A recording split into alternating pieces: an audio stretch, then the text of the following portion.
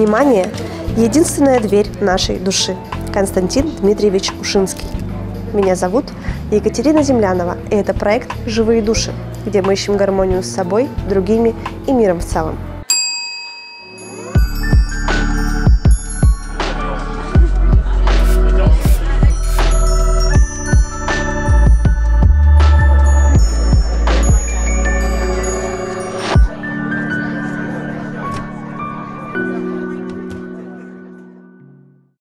Тема сегодняшней встречи – синдром дефицита внимания и киберактивности. Что это такое, как это диагностировать и как скомпенсировать? Поговорить об этом к нам пришла Лариса Головина, клинический психолог, детский нейропсихолог, доцент кафедры клинической психологии Алтайского государственного университета. Здравствуйте, Лариса. Здравствуйте, Екатерина. Тема у нас такая сегодня – синдром дефицита внимания. А, вот если по-простому объяснять, чтобы каждому было понятно, синдром дефицита внимания, что это такое? Ну, вообще можно сказать, что синдром дефицита внимания с гиперактивностью либо без, э, так называемый СДВГ, СДВГшка, это, наверное, такая болезнь поколения. А, потому что, ну, даже если необходимо говорить на широкие массы, она даже не случайно возникла, эта да. необходимость. Вероятно, это такое очень распространенное явление. И если смотреть на это с точки зрения нейропсихолога, вот я являюсь нейропсихологом, и мне кажется, что нейропсихология как наука дает нам, пожалуй, самое такое понятное объяснение этого, этого феномена. С точки зрения нейропсихолога, это нарушение саморегуляции, то есть нарушение возможности управлять собой. Угу. Потому что, ну, что может здоровая психика, носитель здоровой психики? Он, с одной стороны, может строить свое поведение собственно, того, чего он хочет, то есть у него сформировалось какое-то намерение, идущее изнутри, и он это намерение удерживает, и, несмотря на какие-то отвлекающие факторы, может его реализовать. С другой стороны, в реализации своего намерения он учитывает э, то, что происходит вокруг. И таким образом его поведение является адекватным, угу. потому что если обстоятельства изменились, он может гибко построить свое поведение. И как раз это мы называем хорошим уровнем саморегуляции. А вот когда э, у ребенка или у взрослого, когда мы, мы увидим у человека, что есть сложности либо со стойкостью своего намерения, оно вроде сформировалось, но пока начал он реализовывать эту деятельность, переключился на что-то, а, а, отвалилось а, это намерение. Мы понимаем, что такому человеку не очень э, легко, что этот человек, например, может быть ну, орудием в руках других людей, они могут формировать его намерения, они могут что-то там ему настаивать. Ну и, в принципе, мы понимаем, что такая э, деятельность такого человека чревата ошибками. Но нам, в принципе, всем это состояние знакомо. Мы все э, время от времени в него впадаем. Например, начали мы что-то делать, там, не знаю, начали мы разбирать шкаф вот. с одеждой, да. И вроде бы как у нас задача разобрать шкаф. Но вдруг нам попалось какое-то одно платьице и какая-то другая еще кофточка и что-то такое. И мы начали там мерить, мы начали искать ну, какое-то э, аксессуары какие-то. И, в общем, с одной деятельности переключились на другую. Или там шли мы, например, из кухни в комнату с целью, там, не знаю, что-то донести. И вдруг нам попался в руки там телефон или кот, или какая-то еще ребенок э, под ногами. И мы э, забыли, зачем шли, отвлеклись. То есть вот но это такие ситуативные э, нарушения намерений, которые нам всем знакомы. Mm-hmm. Они у нас могут учащаться, учащаться, например, на фоне усталости, на, на фоне mm-hmm. какой-то повышенной отвлекаемости. А вот представляете, вот человек, который все время так живет, который ни одну свою деятельность толком до конца довести не может. И постоянно нужно, чтобы кто-то извне его контролировал и говорил ему, что делать, и говорил ему не терять вот это вот. Э, и, а другая сторона СДВГ – это неумение подчинять себя социальной норме. То есть, когда мое внутреннее намерение таково, оно настолько мощное, что я не могу э, согласовывать его с тем, что происходит вовне. Mm-hmm. И про таких людей, ну, про таких детей говорю, что они невоспитанные, да. и э, это вовсе не обязательно, что они невоспитанные, но они выглядят действительно как э, люди, которые ведут себя, ну, грубо говоря, как вот им э, Бог на душу положил, вот чего хочется, то и делается. Вот Малень, я бы, маленькие эгоисты. Да, поэтому для меня, вот как нейропсихолога, это ключевое в центре СДВГ лежит именно нарушение саморегуляции угу. таких вот ее аспектов. Вот вы сказали, что есть с гиперактивностью, есть без гиперактивности. А можете пояснить, в чем разница вот с гиперактивностью и без? Ну да, действительно, мы понимаем, что есть э, ребенок, который обладает, а, отличается такой высокой подвижностью, а, расторможенностью двигательной, то есть он много бегает, он, он очень шумный, он, он, он, например, не очень хорошо играет в, в организованные игры, его игры носят такой хаотичный. Очень много таких детей среди старших дошкольников, 5-6 лет. И родители на диагностику, когда приводят такого ребенка, они так и рассказывают, спрашиваешь про игру. Вот да какая там игра? Он бегает все время орет. Но это не потому, что он, как, он не, не может э, играть в игру, не знает эту игру. У него такая, ему не хватает ресурсов его психики на то, чтобы себя структурно организовать. Вот для него такой вид активности э, предпочтителен. У этого, правда, есть еще одна сторона, я думаю, мы про нее поговорим, про гиперактивность. Но э, дети и люди с дефицитом внимания, ну, может быть, быть, например, работник офиса, который тоже Э, объем внимания у него не очень большой, но при этом он не бегает по офису, не кричит, расторможенностью моторно не, отлика, не отличается. Поэтому, да, действительно, СДВГ бывает вот с припиской гиперактивный или СДВ э, без mm-hmm. гиперактивности.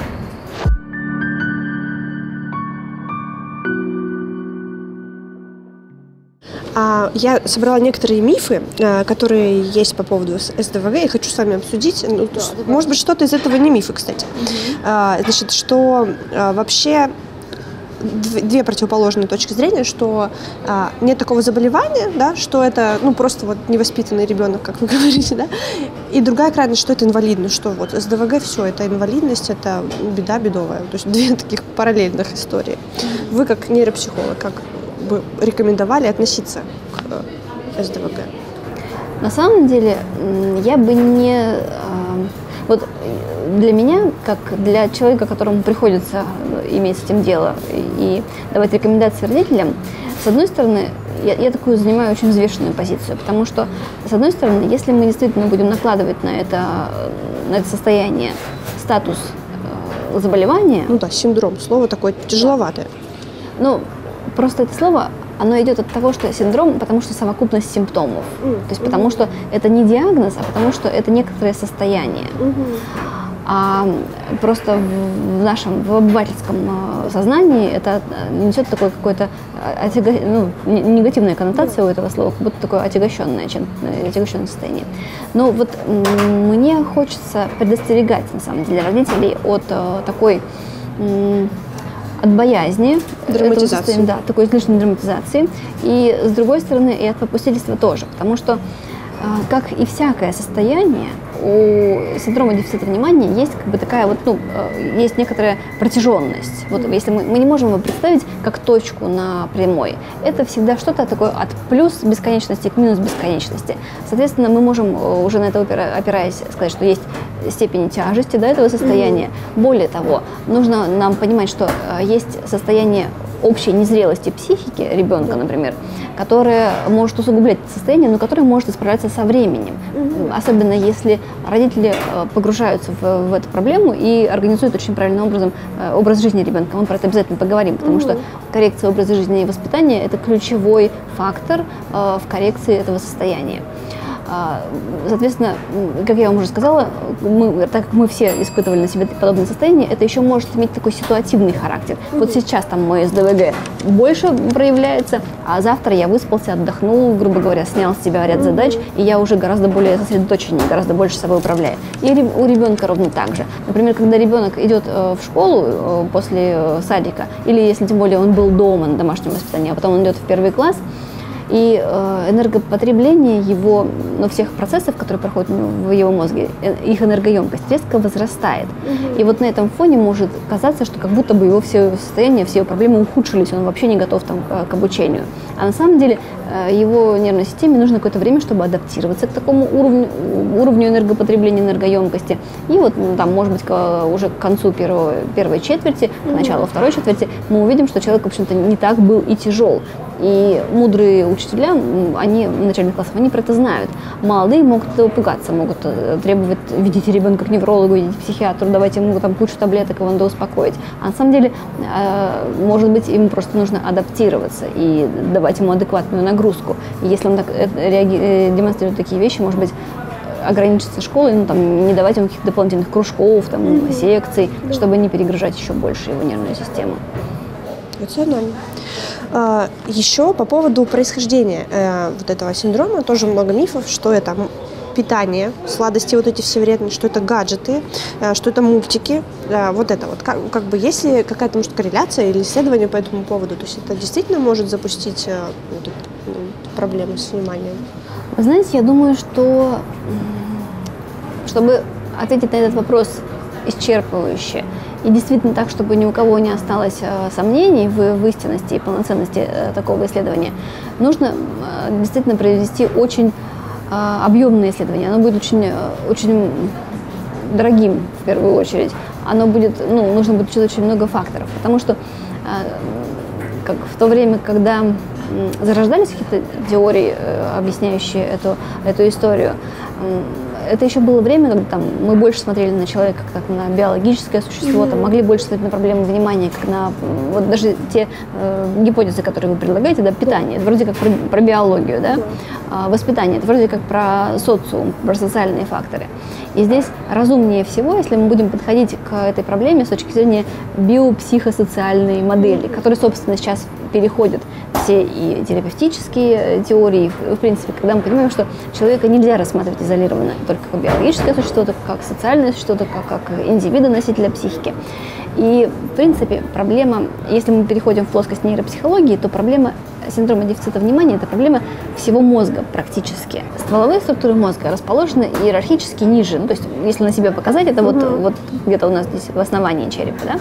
И есть у нас так называемые э, лобные доли, да, которые э, иерархически находятся выше и э, эволюционно появились позже, чем стволовые структуры. Так вот, проблема э, синдрома дефицита внимания, проблема этого СДВГ, это как раз проблема э, взаимосвязи стволовых структур и лобных долей, потому что стволовые структуры обеспечивают нам достаточный уровень активности, то есть угу. чтобы мы могли быть в ясном сознании, хорошо осознавать, что с нами происходит, чтобы у нас было достаточно ну, возможности быть сосредоточенными. И когда ресурс у психики снижается, наше внимание тоже, ну, не только внимание, там и мышление, и все остальные функции начинают э, работать хуже. Мы начинаем допускать большое количество ошибок. Но при этом, э, если мы не умеем организовать себя, вот как раз наше намерение, наше целеполагание, программирование нашей деятельности, э, удержание себя в этой деятельности, коррекция этой деятельности, если, например, мы понимаем, что то, что мы делаем, не вполне приводит нас к поставленной цели, а это все ответственность лобных долей. И э, когда э, эти структуры не дорабатывают, что одна, что другая, э, мы имеем картину, ну, немного она отличается да, внутри себя, но мы имеем картину того, так называемого СДВГ. Так вот, специфика развития этих структур в том, что одни очень сильно чувствительны к биологическим факторам, а вторые к социальным.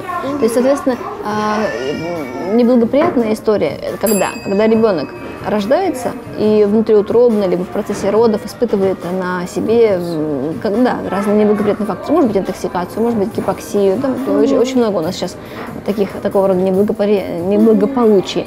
Так вот, соответственно, рождается он со слабым первым, э, со, со, слабыми проблемами стволовых структур. И он такой быстро истощаемый, такой непродуктивный, малопродуктивный. Это как раз гиперактивные дети, которые бегают для того, чтобы подзарядиться как это не парадоксально. Это вообще парадоксально да. очень. Потому что э, для этих структур пищей, из которой они потом, которые потом будут производить в такую энергию для мозга, является как раз поток сенсорных ощущений. И больше всего сенсорных ощущений мы можем получать именно когда мы активно двигаемся. Собственно, вы можете опять же на свой пример, э, на, свой опыт это примерить, когда мы сидим на каком-нибудь скучном мероприятии и уже чувствуем, что мы начинаем задремывать. Да. Мы ведь что делаем? Мы начинаем возиться, почесываться, то есть как-то вот посылать больше ощущений Сигнал. таких вот сенсорных, да, именно кожно-кинестетических а, себе в нервную систему. Таким образом ее будоражить. То же самое делает интуитивно гиперактивный ребенок. Он носится, чтобы подзарядиться. Но э, может быть так, что ребенок родился с вполне себе благополучным, зрелым мозгом. Однако он попал в такую среду, которая, э, ну, то, что называется стиль э, воспитания гиперопека, когда Э, ведь для того, чтобы развивалась психика, нужно, чтобы соблюдалось два условия. Во-первых, нужно, чтобы мозговой субстрат был достаточно для того, чтобы обеспечивать э, высшую психическую функцию. Но, во-вторых, нужно, чтобы запрос от внешней среды к выполнению, ну, к тому, чтобы нужные структуры работали, поступал. То есть нужно, чтобы задача э, формировалась. Грубо говоря, когда лобные доли готовы работать, нужно, чтобы перед человеком вставала задача контролировать себя, угу. соблюдать какие-то правила, соблюдать какие-то запреты, угу. как-то планировать свою деятельность. Пробовать а, что-то. Да, следить за собой, ну хотя бы, например, там, не знаю, а, заправлять свою постель, то есть какой-то соблюдать режим дня, угу. как-то, как-то контролировать э, свою деятельность. Когда все это за ребенка выполняет взрослый, тогда, получается, его лобным долям работать не нужно. И они а, буквально, ну, таким, ну, если то, что не работает, то и не тренируется. Точно. В нашем теле вообще, и мозг не исключение. А то и отмирает. Да. Поэтому, когда проходит сенситивный период, потом очень трудно включить. Хотя лобные доли, а, хорошая новость в том, что лобные доли развиваются в течение всей жизни нашей, ну, как всей жизни, ну, где-то до 30 лет они могут развиваться. И действительно, когда человек вдруг осознал, что ему очень не нравится то, куда он пришел с такими лобными долями, он может активно включиться в этот процесс и как-то ну, э, заместить, э, может накачать свои лобные доли сам. Для этого, конечно, потребуется много усилий, но тем не менее. Но самый, пожалуй, неблагоприятный вариант, когда ребенок родился с ослабленным, э, с ослабленными структурами стволовыми, и еще и попал в семью, которая э, исповедует, скажем так, стиль, гиперопекающий стиль воспитания, тогда у него очень мало шансов на то, что его, э, его возможности саморегуляции будут работать, ну, включиться когда, когда нужно, там, их к 7 годам он уже способен будет соблюдать учебную дисциплину. Ведь это у нас главный критерий, когда человек идет в школу, ему система его саморегуляции испытывает очень большие, ну, это такой серьезный тест на прочность. Естественно, она не справляется с этим. Еще один миф э, встретила про то, что у мальчиков э, гиперактивность встречается чаще. Знаете, я тут, пожалуй, не смогу сослаться на какие-то научные данные, а смогу сослаться только на свой опыт. Вот по моему опыту действительно чаще. Действительно, э, мальчишек и на диагностику приводят чаще, и в коррекции их всегда больше. И это не зависит от того, там работаешь ты в государственном учреждении или работаешь ты в частной практике.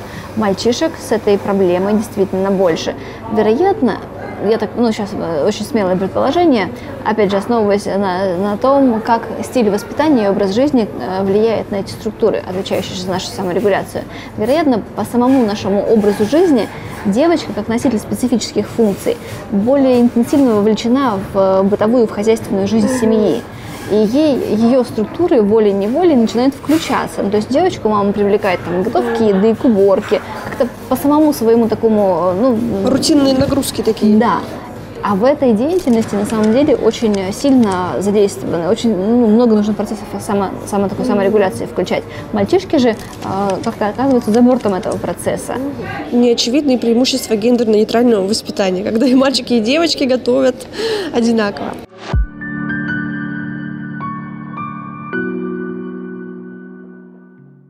Хочется сформулировать для родителей детей, а, то есть как им понять по поведению своего ребенка, что, может быть, полезно было бы сходить на диагностику.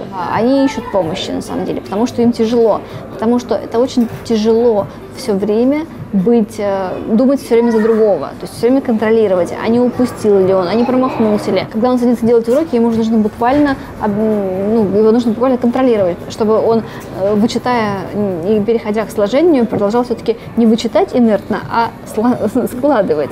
И очень часто э, ему нужно помогать организоваться, ему очень часто нужно помогать организовать просто свой взгляд, который у него блуждает по странице и не знает, на чем сосредоточиться.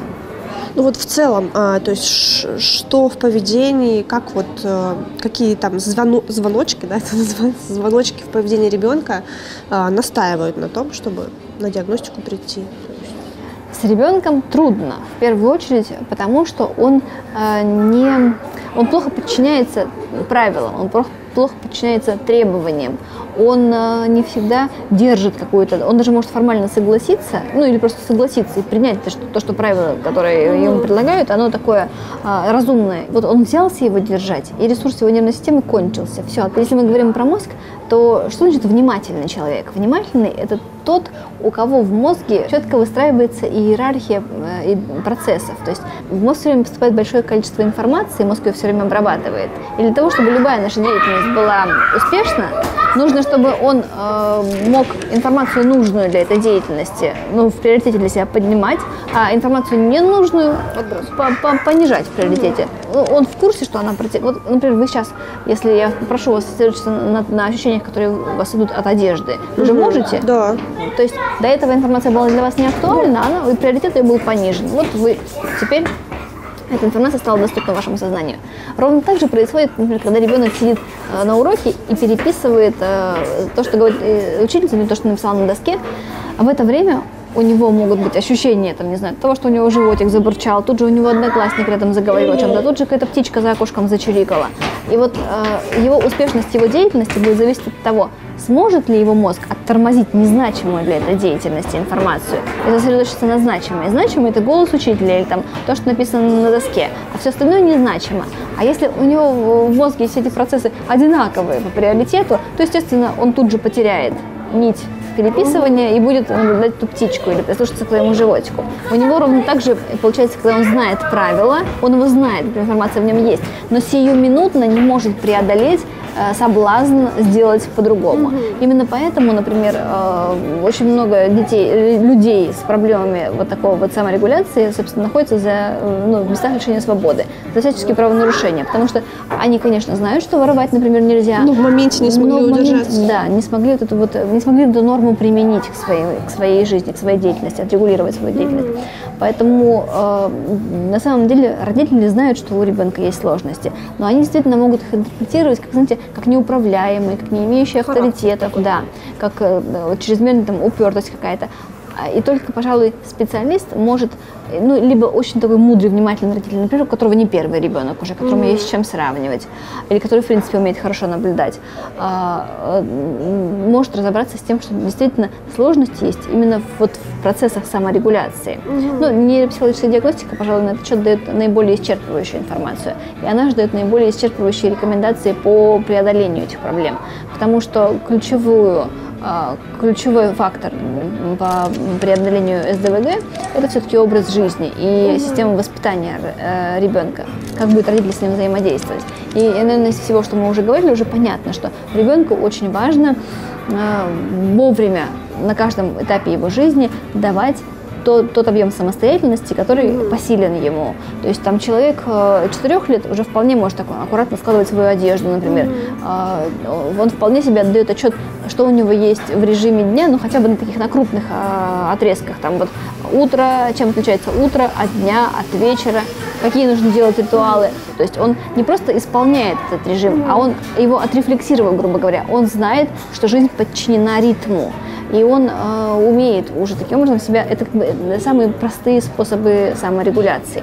Ну и, естественно, чем старше ребенок становится, тем более серьезные у него появляются обязанности, у него появляется какой-то круг обязанностей, все, что касается его, переходит в его обязанности, то есть он сам заправляет свою постель, он сам, школьник сам собирает свой портфель, Здесь большое, большое количество родителей допускают очень распространенную ошибку. Они боятся того, что он что-то забудет, да, да, и поэтому они Я вот также, лучше. Да, они его контролируют не давая ему как раз возможности столкнуться с последствиями своей ошибки. То есть не давая ему по системе обратной связи получить нужную информацию для коррекции э, своего поведения. Ведь эмоциональное подкрепление – это очень значимая составляющая для того, чтобы эффективная программа закрепилась. Соответственно, ему нужно один раз столкнуться с последствиями своего поведения, прожить это эмоционально, э, ну, значимо, не просто так вот как mm-hmm. факт, а прожить это с, разочарованием, со всеми сопутствующими переживаниями, со злостью, с обидой, с печалью. И тогда эта информация э, повысит приоритет э, программы. В следующий раз, грубо говоря, не забудешь. Это вот в народной мудрости так выражается, да, что через голову э, доходит хуже, чем через попу. Собственно, да, для ребенка с СДВГ действительно очень многое нужно проживать на собственной шкурке, очень много нужно вот эти вот э, сталкиваться. Нужно, если он пролил молоко, нужно дать ему в руки тряпку, чтобы он это молоко вытирал, чтобы он понимал, что за его действиями наступают mm-hmm. последствия.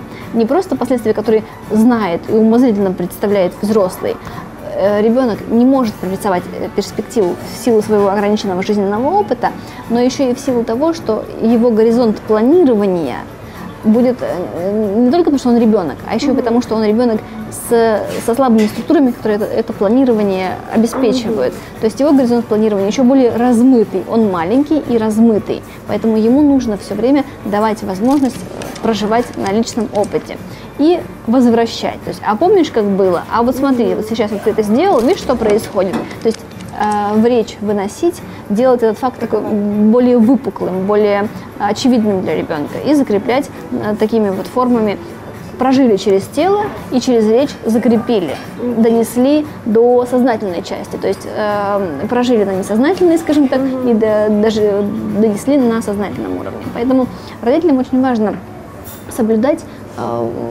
такие вот разумные требования воспитания. Ведь действительно одна из проблем того, что э, так, СДВГ сейчас распространено в нашей популяции, это в том, что образ жизни у нас очень сильно изменился. В том, что наш мозг, э, как биологический субстрат нашей психики, остался тем же органом, каким он и был там и 40, и 60, и 200 лет назад. И он по-прежнему ждет, что для него извне будет определенная стимуляция. Эта стимуляция не наступает. Мы не ведем такой образ жизни, какой мы вели раньше. Мы не не, как живые существа, как телесные существа, не получаем достаточное количество сенсорной стимуляции. То есть мы очень много же в жизни нашей стало комфорта, детей возят на машинах от занятия к занятию, дети не знают, что такое там прикладывать усилия для того, чтобы получать какой-то результат. Дети просто элементарно мало двигаются. соответственно, их мозг находится в состоянии постоянного такого обкрадывания, постоянного, постоянно такой депривации сенсорной. Не хватает сенсорных ощущений, не хватает достаточной э, волевой стимуляции, то есть испытываю какой-то дискомфорт, приложи усилия для того, чтобы дискомфорт преодолеть. Дискомфорта практически в жизни нету. Mm-hmm. То есть э, все находится на расстоянии вытянутой руки. И не нужно э, ждать, не нужно терпеть, не нужно тренировать свои волевые процессы. Mm-hmm. И это, конечно, создает необратимые, ну, последствия необратимые и очень является таким разрушительным фактором для нашей психики. Поэтому в первую очередь, если у ребенка есть проблемы с дефицитом внимания, с саморегуляцией, с управлением, с самоконтролем, в первую очередь нужно внимательно посмотреть на его образ жизни и, проанализировать с точки зрения того, а есть ли у него обязанности, mm-hmm. а что, например, я в его возрасте умел, mm-hmm. а не мешаю ли я как родитель не стою ли я на пути к его, собственно, самостоятельности, а не пытаюсь ли я предвосхищать его желания, не подстилаю ли я ему соломку там, где ее не нужно подстилать. И таким образом не, не делаю я для него медвежью услугу. А, вот, вот это вот такие вот вещи, которые очень важно понимать. Потому что синдром дефицита внимания, как проблема, он ведь не проходит с возрастом. Это, конечно, детский диагноз, конечно, его правомерно, э, чтобы он существовал там в возрасте с 3 лет до 18. То есть в 18 у нас человек перестает быть ребенком, становится взрослым. Но состояние мозга никуда не девается, он как был со слабыми волевыми процессами, со слабыми процессами самоконтроля, он таким и остается. В принципе, очень трудно им преодолеть вот то, что называется сепарация, да, как-то э, от взрослого. Они могут наделить э, статусом взрослого, статусом родителя э, другого человека, не обязательно угу. родителя своего, это может быть, например, супруг или супруга. Ну, даже, угу. да, какие-то вот, да, такие, в такие отношения тоже могут э, входить. И действительно, мы понимаем, что жизнь такого человека чревата рисками. Но такой человек далеко не обречен. А можно иметь очень сильную нервную систему, но расшатать ее неграмотным образом жизни. А можно иметь слабую нервную систему, но хорошо за ней ухаживать и добиться угу. хорошего социального успеха. Это как, как машина, да? Можно купить дорогую машину, но убить ее э, неграмотным техобслуживанием. А можно иметь какую-нибудь такую среднего качества машину, но тем не менее хорошо за ней ухаживать, беречь ее, не, не, э, катать, не, не, не ездить на ней там, где не подходит для нее дорога, и она будет хорошо служить верой и правдой. Поэтому о себе нужно в первую очередь заботиться, нужно понимать свои возможности, нужно понимать, как то, что вы делаете, э, вредит вам или помогает. И, собственно, так, таким образом можно очень даже хорошо раскрывать свой потенциал.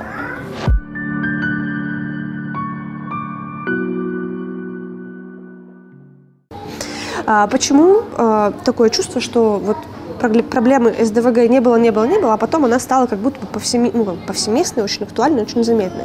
С чем это связано? А я думаю, что это отчасти еще связано с ее такой высокой маркетинговой э, заинтересованностью. То есть э, это тема, которая хорошо продается на самом деле. Потому что, во-первых, эта тема, как я уже сказала, связанная с, с теми процессами, которые у нас идут в популяции в целом, она очень э, изменился наш образ жизни, и мы тотально чувствуем на себе его влияние. И, в общем-то, если взять симптомы СДВГ, то у каждого родителя закрывается такое подозрение, а у моего ребенка нет ли? Тревожного, каждого, современного. Да, да, у каждого взрослого в какое-то состояние, состояние появится сомнение, а я, собственно, не носитель, а может, там меня не диагностировали. И а, а второй аспект этой проблемы в том, что когда мы начинаем заниматься действительно а, структурированием жизни ребенка, то мы видим хорошие результаты.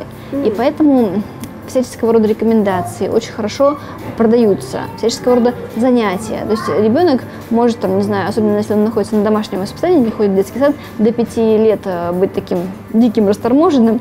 Родители э, озадачиваются тем, куда бы, как, его, как его вести потом в школу, начинают водить его к специалисту по проблемам СДВГ и видят, что только от одних только занятий у него действительно есть э, сдвиг, действительно есть результат, да. А это просто связано с тем, что в его жизни появилась структура, то, чего ему так и не хватало. И, конечно, специалист э, может охотно приписать этот э, триумф себе. Но если он добросовестный, если он так хорошо оценивает э, состояние своего клиента, он может просто объяснить родителям, что вот и дальше вводите упорядочивание в его жизнь, э, вы сами становитесь более дисциплинированными, угу. и этот результат закрепится у вас на долгие годы, и дальше вы еще, еще больше получите результат. Ну, а специалист, который не, не так глубоко рефлексирует, он скажет, что вы приходите ко мне, еще и цены на свои услуги повышу. Я, я такой замечательный специалист. А фарма может влиять на то, что это продается так сильно? Ну, то есть есть же еще коррекция медикаментозная в этом есть? Коррекция медикаментозная есть, как мы с вами говорили, это же шкала, есть э, более сложные состояния, более выраженные состояния, менее выраженные состояния. И, как правило, медикаментозная коррекция особенно нужна тогда, когда у нас вот есть как бы саморегуляция, как, как одна плоскость, да, в которой мы э, анализируем проблему СДВГ но ничто не, мешает этому мозгу еще иметь проблему по другой, по другой оси. Например, легкую умственную отсталость или, в принципе, сниженность когнитивных возможностей. Такому человеку, такому ребенку довольно трудно себя извне контролировать. Еще и потому, что ему вот эти формы более высокого контроля, речевого контроля, не так доступны, потому что они требуют э, ну, иного состояния, иного развития его мозга. И вот для таких детей действительно медикаментозные формы лечения оказываются ну, такими более, ну, более востребованными, более нужные. Если все это накладывается, вот, вот представьте, какая может быть э, адская смесь. Ребенок плохо управляет собой, ребенок не вполне интеллектуально, не берет интеллектуальной формы контроля, и при этом он еще находится в среде, он родился при очень инфантильного родителя. Родитель, который не готов вот так вот взять и на себя ответственность за этого ребенка, вот не готов постепенно вести его по этому пути овладения дисциплиной, а который только испытывает растерянность, э, желание, чтобы кто-то взял его за ручку и, и провел его по этому пути, чтобы сам ему помог, такой родитель, конечно, будет очень охотно откликаться на предложение э, фарм, ну, медикаментозной помощи. А и ну, рынок, да, тут, тут, тут ему тут как тут. И мы не можем осуждать этого родителя, потому что, ну, действительно, чтобы собрать такого ребенка в кучку, чтобы его организовать, нужно иметь собственный ресурс, а там его может и не быть. И, может быть, и некому, ни бабушек, ни дедушек рядом нет. Таких историй очень много. Каждого эксперта мы еще просим э, порекомендовать что-то, что можно почитать, посмотреть, упражнения какие поделать для того, чтобы стать более компетентным э, в теме нашей центральной. Тема СДВГ в контексте СДВГ у взрослых сейчас очень хорошо освещается, очень много. Есть прям книги такие, а, есть книги, посвященные лобным долям, как правило, книги иностранных авторов, но тем не менее, я думаю, что их не составит туда найти. В принципе, я достаточно много как нейропсихолог говорю на тему СДВГ и на тему вообще профилактики и коррекции образом жизни ну, в своих социальных сетях. Поэтому я думаю, что достаточно просто найти того специалиста, который, чьи рекомендации вам откликаются, вот чей, там, не знаю, темп голоса вам откликается, и вы попробовали какие-то там его рекомендации, и они работают действительно на вашей жизни. Поэтому, думаю, не составит труда. Спасибо большое за этот полезный разговор. Хочется, чтобы каждый из нас заботился о своей нервной системе. А следующая наша встреча будет посвящена теме манипуляций. Что это такое и как себя защитить? Обсудим. До встречи.